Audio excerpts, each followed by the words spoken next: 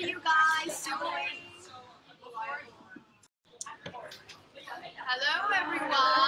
How are you guys doing? So we are all ready for our preliminary gown competition and the blue carpet event.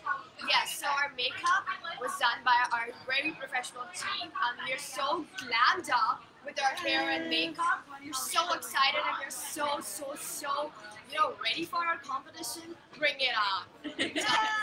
We're so excited. So um, this is their social media for uh, Juan and Pooh, the staff that did our makeup, and we're so happy. We're so excited.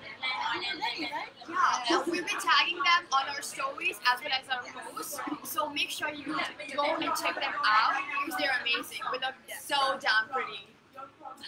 Lots of love to you guys. We love you so much.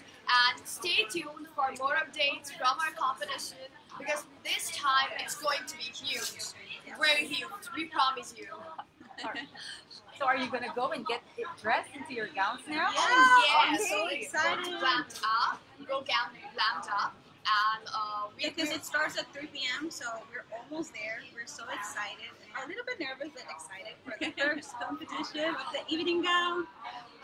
Yes, so we actually uh, went for rehearsals in the morning, uh, like for tomorrow's event, and now we'll be leaving our hotel after we uh, get dressed up. Other girls are getting ready by the team, and they did it so fast. Like they were so fast with it. We came back to from our rehearsals, and they boom, they just they just went their magic on.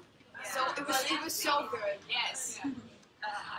Okay, so we're not gonna keep you here any longer because we know you have to prepare. So thank you, girl. Thank, Thank you you guys. for your comments. Love you so much. See you soon. Lots of love.